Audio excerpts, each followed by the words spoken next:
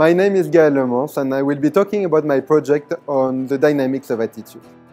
The polarization of attitude is at the root of some of the key challenges faced by our societies.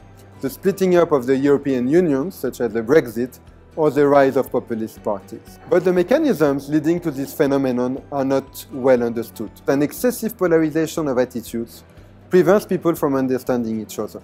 This challenges the democratic debate and imposes huge costs on our society. Existing explanations either focus on the information to which people have access via online or offline social media or on how they process this information. With this project, I aim to develop a unifying theoretical framework that will specify how these two mechanisms interact. To test the predictions of the theory, I will execute a set of behavioral experiments. I will organize participants in social networks.